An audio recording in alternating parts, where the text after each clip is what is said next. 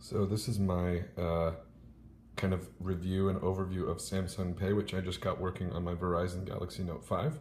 Now, what's happening currently is that Verizon uh, has pushed out an update to support this, but they are forcing Samsung to release it on Google Play as opposed to the Samsung App Store, uh, Galaxy apps.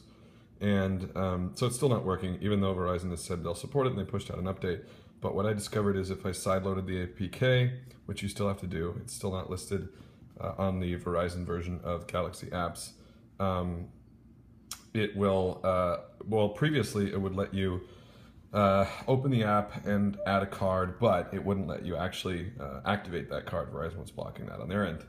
Um, but what I found out is now that Verizon pushed this quote unquote update to allow Samsung Pay on uh, on Verizon, um, you can actually sideload the APK and it'll work. And so I just tried it out. I've been waiting a long time to do it.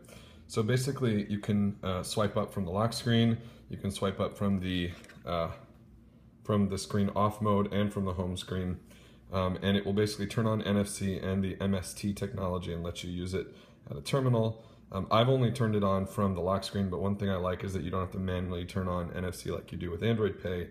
Um, and I just tested it out at a local grocery store worked like a charm. This thing is awesome. I'm going to use this everywhere and I'm going to carry my wallet around not so much. It worked on a Verifone terminal with no NFC support uh, like a charm and it was pretty cool. And uh, again, if you want to, you can enable it to turn on from the screen off. So you just swipe up like that and it'll appear. I don't have it on.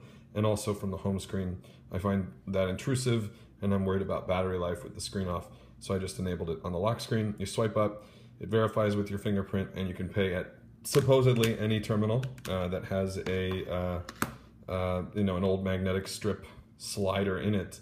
Um, and so far it's worked for me where it normally uh, wouldn't with Android Pay or with Apple Pay. Um, but I'm excited to have it working on Verizon. I've for so long wanted to have that happen and also just not carry a wallet around. So we'll see if it works like that, but uh, promising so far. There you go.